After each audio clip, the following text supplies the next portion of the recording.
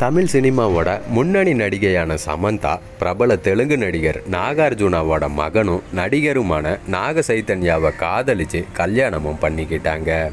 நட்சத்திர ஜோடிகளாக வலம் வந்த ரெண்டு பேரும் விவாகரத்து செய்ய போகிறாங்கன்னு சமீப காலமாகவே ஊடகங்களில் செய்திகள்லாம் பரவிக்கிட்டு இருந்துச்சு.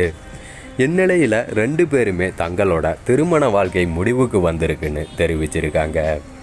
கடந்த ரெண்டாயிரத்தி பத்தாம் ஆண்டு தெலுங்கு படம் ஒன்றில் ரெண்டு பேருமே சேர்ந்து நடிச்சிருக்காங்க. அப்போ தான் ரெண்டு பேரும் நண்பர்களாக பழக ஆரம்பித்து சமந்தா நாக சைத்தன்யா ரெண்டு பேருமே காலப்போக்கில் காதலிக்கவும் தொடங்கினாங்க. அதுக்கப்புறம் இவங்களோட காதல் விவகாரம் வெளியே வர ஆரம்பித்ததுமே ரெண்டு வீட்டோட சம்மதத்தோட கோவாவில் ரொம்பவே பிரம்மாண்டமாக இவங்களோட கல்யாணமும் ரெண்டாயிரத்தி பதினேழாம் ஆண்டில் நடந்துச்சு. திருமணத்துக்கு அப்புறமும் சமந்தா தொடர்ந்து படங்களில் நடிச்சிட்டு தான் இருந்தாங்க. இந்நிலையில் சமீப காலமாகவே சமந்தா நாகசைதன்யா ரெண்டு பேர்த்தோட உறவுலையும் விரிசல்கள் விழுந்திருக்குன்னு ஊடகங்கள் பரபரப்பாக பேசினாங்க. அதை உறுதிப்படுத்துகிற விதமாக தன்னோட மாமனார் வீட்டில் நடந்த பிறந்தநாள் பார்ட்டி அமீர்கானுக்கு விருந்து கொடுக்குற பார்ட்டின்னு எதுலேயுமே கலந்துக்காமல் இருந்தாங்க சமந்தா.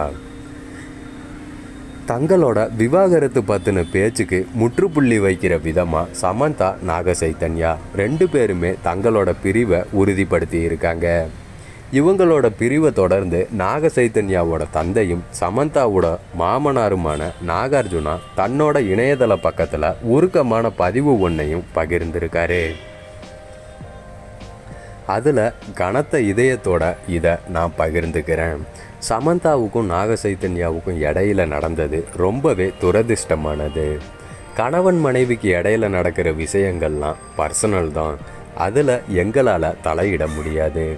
இருந்தாலும் சமந்தா மற்றும் நாகசைத்தன்யா ரெண்டு பேருமே எனக்கு ரொம்பவே பிரியமானவங்க தான். எங்கள் குடும்பம் எப்பவுமே சமந்தாவை ஆதரிக்கும்.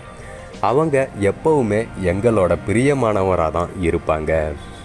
சமந்தா எங்கள் கூட இருந்த ஒவ்வொரு நாளுமே மறக்க முடியாத நாட்கள் தான் கடவுள் ரெண்டு பேர்த்துக்குமே மன வலிமையை கொடுக்கணும்னு வேண்டிக்கிறேன் அப்படின்னு தன்னோட பதிவில் உருக்கமாக குறிப்பிட்டிருக்காரு நாகார்ஜுனா.